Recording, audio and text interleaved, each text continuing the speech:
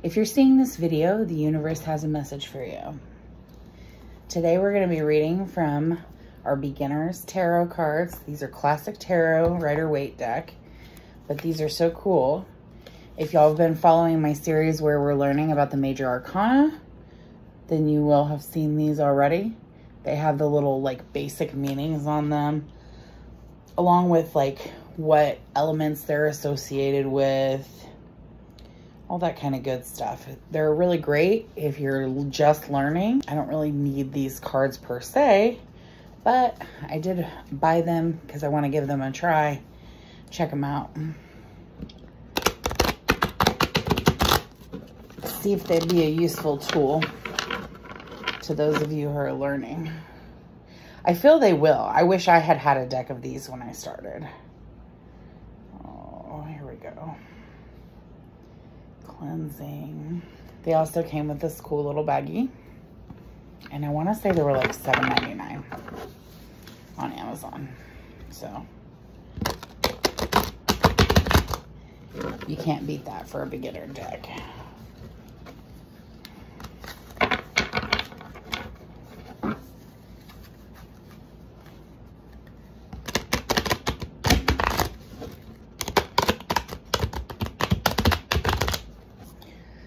Let's put our energy into these cards.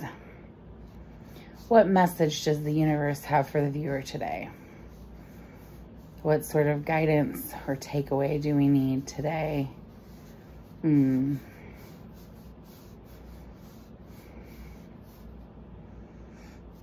Okay, let's cut the deck.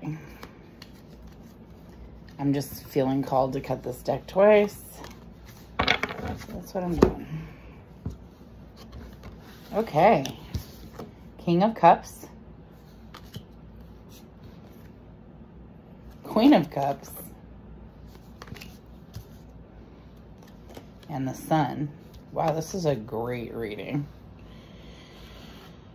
Okay, so we're talking about being emotionally balanced, compassionate, diplomatic, in control, supportive leader, and empathetic. That's the King of Cups. That's what we have listed here for the basic. Um, upright, it says compassion, comfort, calm, nurturing, healing, emotionally stable, intuitive. Then upright, it says positivity, pleasure, happiness, vitality, fun, joy, warmth, celebration, success, rebirth, all is well. Wow. What a great spread. So King of Cups Wow. This tells me that you have started to master your emotional state. You are using your wise mind, working somewhere between that emotional sense of feelings that you get over a given situation and balancing that with things like logic and understanding and breaking down the components like with your mind and kind of looking at the whole picture. You know, that's, I'm really proud of you. This feels like healing to me. This feels like you've been doing some inner work, possibly, you know, shedding some toxic behaviors, shedding some generational trauma. I very much am sensing the vibe that it wasn't always this easy for you to stay emotionally balanced in the face of adversity, but you're doing it now and you're doing a great job. And that has led you to a place where you're able to be more compassionate of others and more empathetic and you have a lot of, you know, tolerance and patience for other people's uh, emotional states as well now that you have a better understanding and a better balance of your own.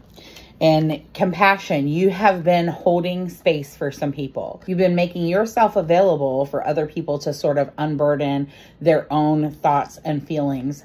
And that's a beautiful thing. You know, you've been coming with compassion, you've been emotionally stable. I mean, these cards are like, you know, hand in hand. I mean, we've got the king and queen here. You're just really when it comes to cups with your emotional state, you're just really balanced right now and you're really able to help others with that insight that you have learned about yourself.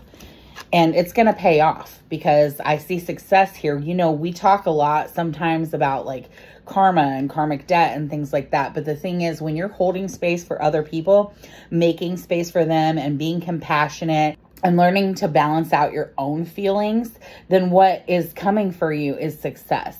that wheel of karma is going to turn and it's going to turn in your favor because you've been doing this work, because you've been doing this self work, and also because you've been compassionate, open, giving of yourself.